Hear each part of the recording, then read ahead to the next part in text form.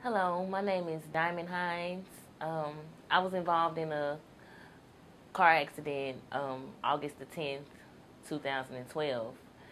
Um, I was hit from behind at a red light by a drunk driver. I was in severe pain. Um, I didn't know what I was going to do about the pain or my car.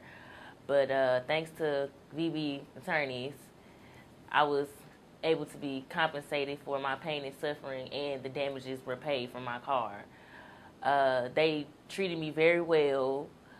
They um, were really nice. I felt like a person more like a than than a client. Um, they were really down to earth, and I just with, without them, none of this would be possible. I mean, my injuries are sustained they're not hurting anymore.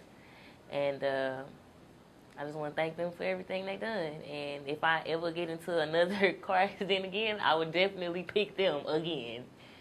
Okay.